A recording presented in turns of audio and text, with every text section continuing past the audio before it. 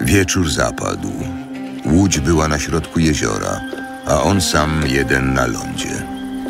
Widząc, jak się trudzili przy wiosłowaniu, bo wiatr był im przeciwny, około czwartej straży nocnej przyszedł do nich, krocząc po jeziorze i chciał ich minąć.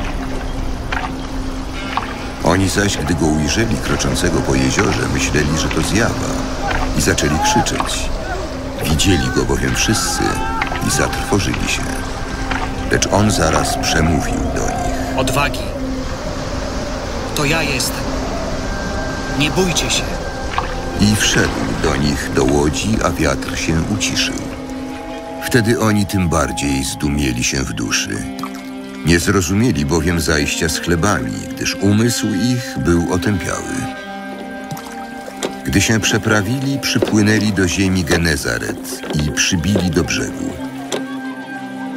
Skoro wysiedli z łodzi, zaraz go rozpoznano. Ludzie biegali po całej owej okolicy i zaczęli znosić na noszach chorych tam, gdzie jak słyszeli przebywa.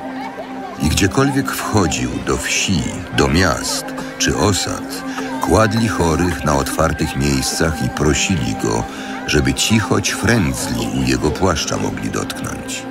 A wszyscy, którzy się go dotknęli, odzyskiwali zdrowie.